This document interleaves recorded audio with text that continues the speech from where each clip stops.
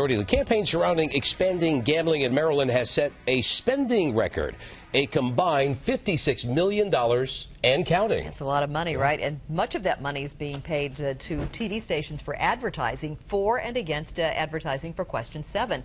11 News reporter David Collins joins us live in the studio with another fact check on claims made by the opponents of expanded gambling. David. Donna, one of the facts presented is based on public perception, not fact, hatched some 40 years ago.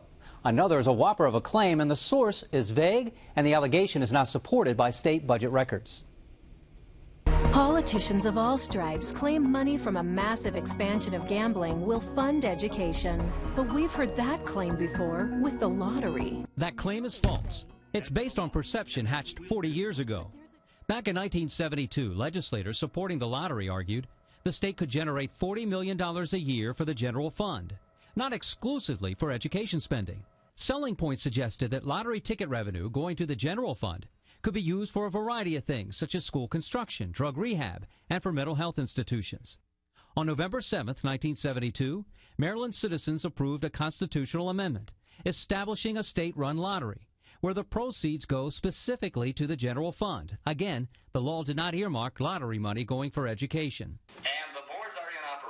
Early TV lottery drawings never suggested ticket sales supported education funding.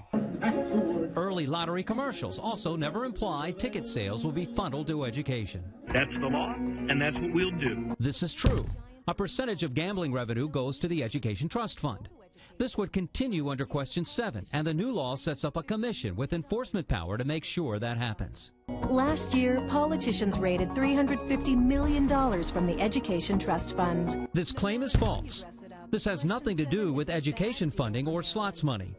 The $350 million comes from a local income tax reserve account. The state borrowed 350 million from the reserve in fiscal year 2011. Those dollars were credited to the Education Trust Fund.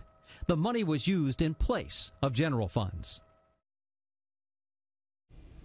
Here's how it actually works. The 2002 Thornton Plan enhanced education funding levels. In 2007, the General Assembly created the Education Trust Fund to put slots money into it.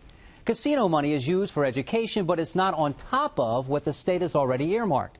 As long as education spending levels are met each year, the state has the option of supplanting state revenues with gambling funds, which can be used for other purposes.